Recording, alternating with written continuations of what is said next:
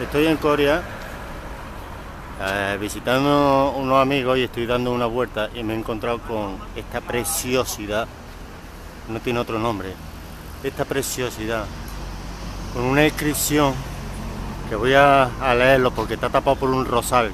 Me ha dado tal sentimiento que hasta las lágrimas se me han saltado de ver esta barbaridad, esta barbaridad. Y pone, el pueblo de Coria del Río en homenaje a los que fueron expoliados, represaliados y pagaron con su vida la defensa de la legalidad republicana, la libertad y la democracia. Después de tanto dolor y tanto silencio, la memoria permanece viva. Vuestro sacrificio es semilla de paz y libertad. Noviembre 2009. Maravilloso, precioso precioso y tapado por un rosal.